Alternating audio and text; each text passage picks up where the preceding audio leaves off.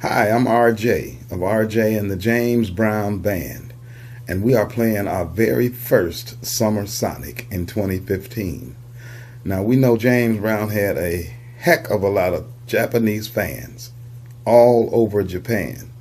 So, we expect them to be rabid, to come out, get funky, get down, and get on up with the James Brown Band, RJ, Martha High, Danny Ray, and the rest of the group.